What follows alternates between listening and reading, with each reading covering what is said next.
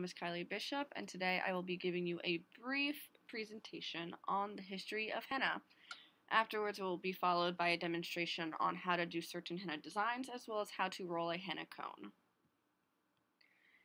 Henna is actually the Persian name for the plant Lawsonia inermis, while mehndi is the Hindu name for the art form. And for the sake of simplicity, I will be referring to this art form as henna throughout this presentation. It is one of the oldest forms of body art, dating back to about 7,000 years, and is usually used in religious ceremonies or weddings by Hindus, Muslims, Jews, Sikhs, and other religious organizations. Henna is not just used for body art, but also for dyeing hair, nails, leather, silk, and wool. The henna plant contains one of the strongest naturally occurring dyes known to be found in nature, and this is often used to dye nails, which helps to condition the nails and protect from fungal infections such as athlete's foot. So, for the making of henna, first the plant's leaves are harvested and dried out. After that, they are finally ground up into a powder, which is then mixed with ingredients such as lemon juice, tea, cloves, and water to create a paste. This newly made paste is then let sit for up to 12 hours before being rolled into a henna cone. When the henna is finished being made, the rest of the plant will be used to make hair dye, shampoo, and conditioner. So you will need a piece of cellophane about 6 inches by 4 inches with a slight curve in one corner to begin rolling a henna cone. From there, take the unfolded side and begin rolling it about 3 to 6 times until it is all completely wrapped. Then take a piece of tape or two to secure the roll on the sides. After, this cone can be filled with henna and taped off the top to keep the henna from spilling out. As previously mentioned, I will demonstrate this later after the slideshow. Applying henna, it's really based on your own technique that you find it works best for you. However, once the actual henna is on the skin, you can gently dab a sugar lemon mix onto the paste to help the dye adhere to the skin better. The longer the henna is left on the skin, the darker and longer the henna will last on the skin for.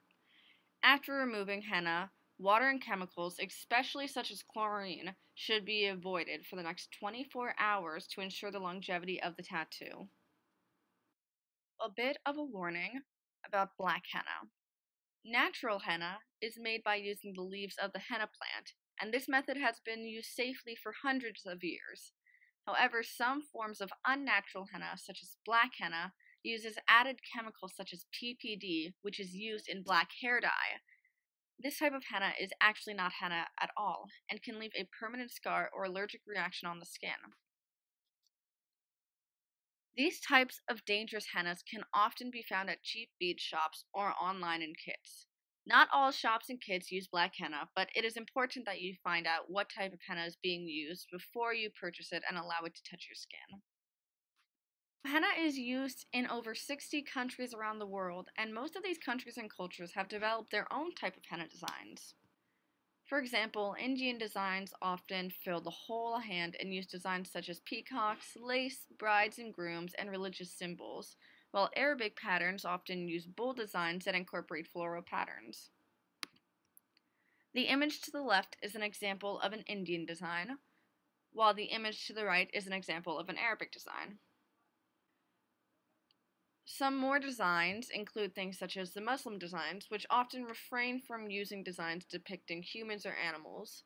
North African ones usually use geometric and hidden symbols, while Somalian designs contain dots and lines that cover the arms and hands. On the left is an example of a Muslim henna design, and on the right is an example of a North African henna design. This is an example of a Somalian henna design. Alright, I will now move on to the demonstration portion where we will learn how to roll a henna cone and apply henna. So, this area right here, this would be good to practice like little humps or bumps in your designs. So, you're going to start at this end, and this one is really good for practicing um, the thickness of each line so that you don't end up merging two different designs together. So then that first line is done, and now I'm going to move on to these thicker parts.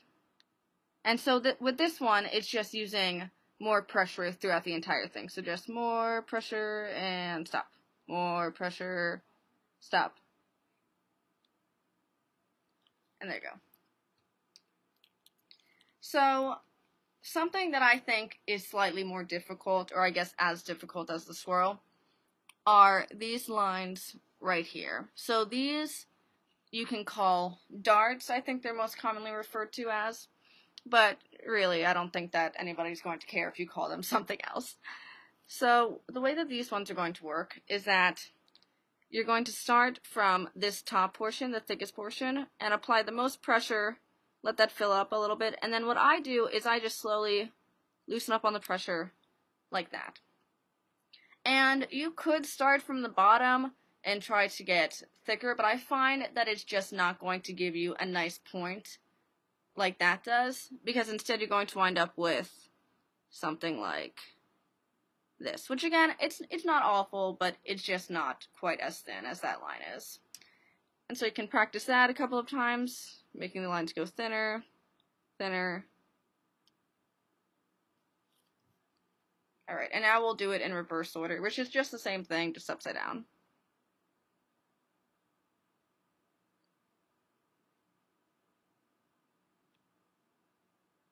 There you go. So this next one is going to be another good example of trying to prevent your lines from merging because of how thin this white space is compared to the black line. So you could start it like this and do it on two separate lines. But I find that doesn't quite look as good or it's just going to take more time. And so what I like to do is I like to just go up one and then bring it back down all in one go.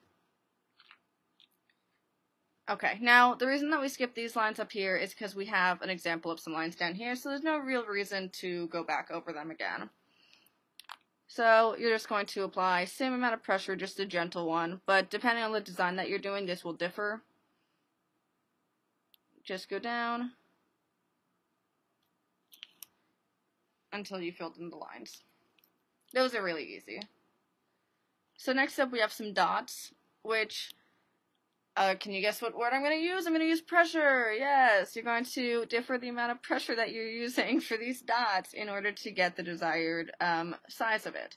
So with this bigger one, you're going to want to apply more pressure and then just pull up and you're done. So a little bit less, pull up and done, pull up done, done, done, done. There you go. So next up we have these sort of dots right here, these little bumps. These are actually quite difficult to do, I think. I still struggle with them sometimes, um, even though I've been doing this for quite a few years. But I think that just getting them all the same height is quite difficult, so don't don't get upset if you struggle for this one or any of them, for a matter of fact. Just keep practicing. I was really bad when I first started, and I like to think that I'm pretty good now, so really don't get frustrated if it's not great when you start. So, for these ones, what I typically do is I don't stop and do individual ones like I just did.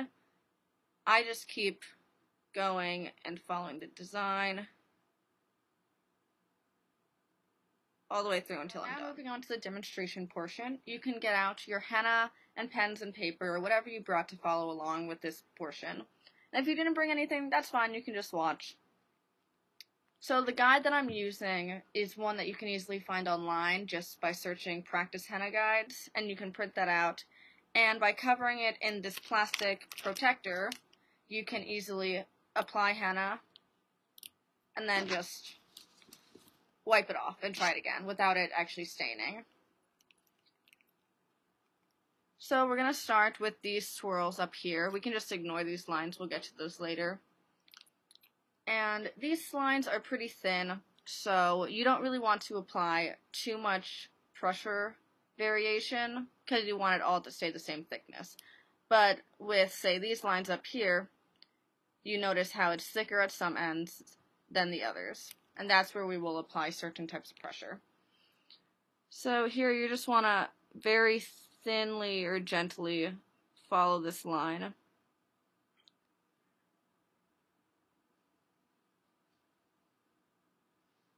And if you always, uh, if you just miss a spot, then you can always go back and just fill it in. And the lighter your pressure, the thinner the line is going to come out on the henna. So we can do the same thing, but just in another direction now. Now these swirls are actually very common in henna designs. So if you are planning on doing some henna yourself, it is very good to get accustomed to these.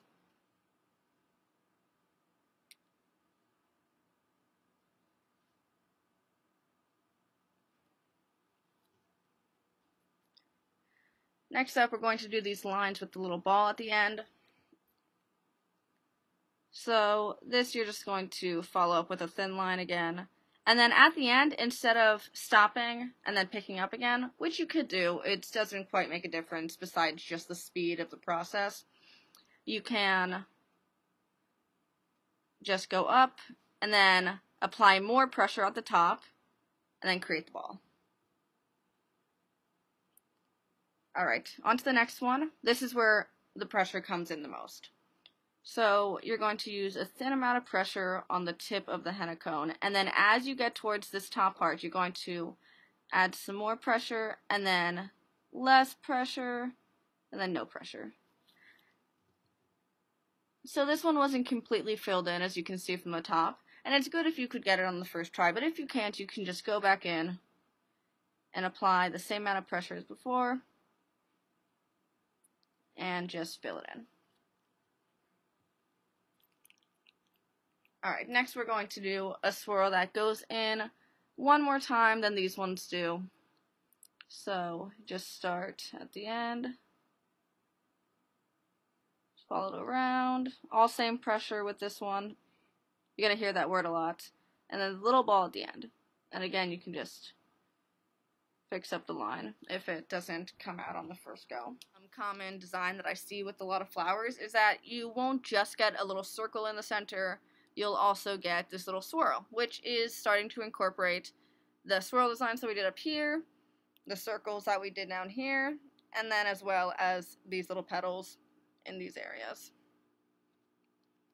So with this one, you could just do one of these circles, but instead of not connecting the lines, you could connect them to create this pattern. So we go around, and swirl. And there you go. And then just petal, petal, petal,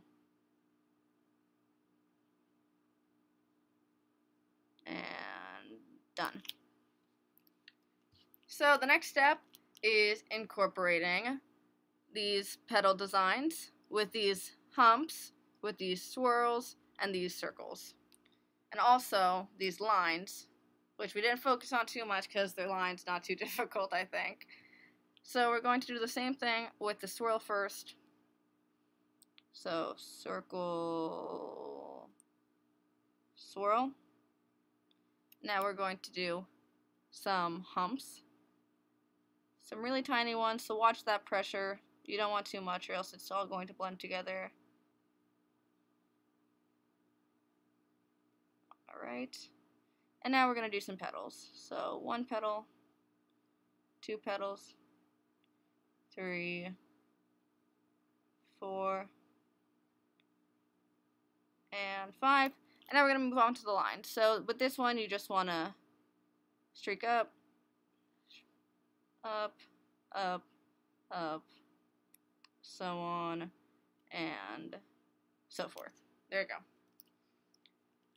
So now we are going to do these darts again with a little bit more practice that we finish the flowers because these ones are also super common in designs. I find that floral designs as well as swirls and darts are the most common out of any design that you'll find.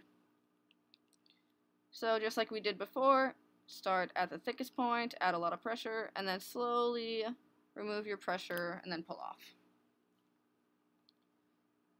So we're going to do these without having the lines touch. A lot of pressure, no pressure. A lot of pressure, no pressure, good. A lot of pressure, no pressure, a lot of pressure, no pressure. And again, um, if you're using a pen, I know that you're not going to be able to get these sort of um, thicker lines, but it's okay as long as you're just following along and getting the motions in. I should have mentioned this in the beginning. I didn't, but you can just go on on your own and practice this for as long as you want, and you can keep this in mind when you're doing that, is that if you just have a pen, you don't have any henna handy, you can just hold onto the pen and squeeze it a little bit tighter when you're pretending that you are adding more pressure, and then just release a little bit when you're not. Alright, back onto these ones. So, thicker pressure, thin, thicker line, thin. And with these ones, we're adding a little bit of a curve to the line. So, thicker, curve, thin. There you go. These ones are sort of like hugging each other. We're going to make sure that they don't touch again. So, thicker and pull. Thicker and pull. Thicker and pull. Okay, so that's just about all for this guide. If you really wanted to go back with these lines, you just pull, pull, pull, pull, dot, dot, etc. Take a break for whatever reason and stop the um, sort of flow of henna halfway through. It's fine. You might need to do that to get more henna towards the bottom of your cone or wipe off your cone tip or whatever reason. It's okay. So these ones are quite similar to that one, so I'm just going to skip over. And this one is another example of not merging your lines. So it's just the same thing that we did up here. You're just going to do the line, fluent motion, I don't stop. Let's just do it all in one go.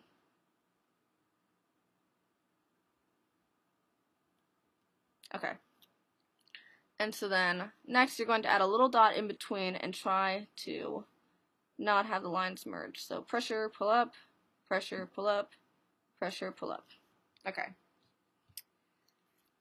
So this again is a really good example of not having your lines merge because you need to do multiple layers in order for it to come out right. So you're going to do pressure, pull up, and then circles I find are just kind of difficult to do no matter what medium of art you're using.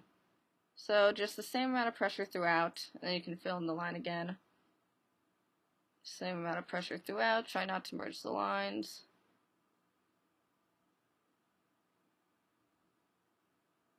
And there you go. So we're going to skip over these because it's the same thing here. And this one sort of looks like a little flower design, so we'll do that because it seems like we're getting into this section. So some flowers you'll find are just dots in a row together. And that's sort of what this one is, or at least what I picture it as. So you're going to do a dot, pull up, dot, pull up, dot, pull up, and dot, pull up. And the thing about these flowers is that you're working with the black and white space or um, negative space, and here you want to try to leave that white space in the center while creating a design that comes out to look pretty floral with the black space. Alright, we can do that again. This one is less of a flower, more just dots in like a diamond position, but pretty simple. Little pressure, pull up. Next, we've got some actual flower designs, which we're going to start with this smaller one and continue throughout. So this is sort of like these designs, how we, we had a fluid motion, and we'll just follow that throughout the entire thing. If you need to stop, that's fine, but again, just doing the same thing that we did up here. So that's one petal, two petals, three petals, done. Next up we have this one, which incorporates a little um, circle into the middle part, which if I knew anything about flowers, I could tell you what that is called, but I don't. So, it's going to be called the circle part for now. So, I usually do the circle first, in a separate um, flow of motion. Then I just stop the circle. And then I will do a single range of motion for all the petals, like I did in that one. So, one petal, two, three, four, five, six. This next part, we are going to roll the henna cone. What you're going to need is a little piece of cellophane um, that's cut into a little triangle piece like this, and some tape. And then also just spare henna. This one's already rolled into a cone, but sometimes if you're running low on henna, you can sort of push the henna down into the tip. And this one I wouldn't um, put into a new henna cone yet. But if it was like down to maybe here or so, then it would be a good idea to merge this with another cone, which is where the rolling would come into play. So you're going to put your finger right here and hold this straight piece down. A lot of people think that the point of the cone is going to end up here, but it's it's not. It's going to just roll around in a sort of semicircle motion and end right about here. So once you have your finger here, you're going to fold this piece up. You can crease that a little bit.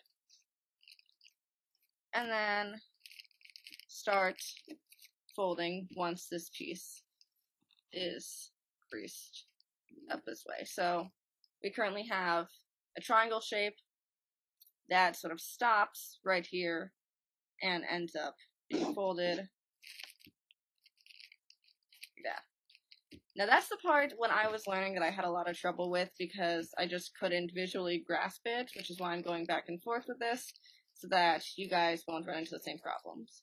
So then, once you're in that spot, I usually move my finger over to the point that I folded it to, which will also determine the size of the cone. So you could do it up here, or just down here. It really doesn't matter, it'll just change the size a little bit. So I then move this over to hold it in place, and then you just start rolling.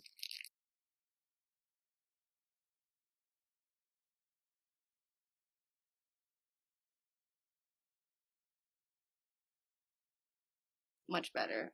I don't know if you guys can see that as well. I chose a really bad color for the cellophane because it's white and clear. But I think that you get the point. No pun intended. So then from this point, what you're going to do is take a little piece of tape and then just apply that around the opening. You can apply it to however many spots you need, but usually one or two pieces right here can hold it in place. And then you can take this thicker part once you've applied henna from, let's say, a smaller tube. If it was down to here, you could put that in and squeeze it. Or sometimes what I'll do is I will push this henna at the tip up the cone, and then I'll cut it so that you get a bigger hole and it goes into the next cone faster. But I'm not going to do that because, again, this henna is not quite ready for that. So you're pushing it in to this little opening. Okay, you're done with that. Then you're going to sort of get all the henna down towards this part of the cone. And then you can fold this top part off however it needs to be folded. It doesn't quite matter as long as it's closed. And then you can take this off. And there you go. A henna cone. So you can practice that as many times as you need. Um, the cellophane will obviously become folded, but you could just unwrap it and do it again if you're just practicing. So, there you go. I think that this just about ends the presentation. Thank you so much for tuning in.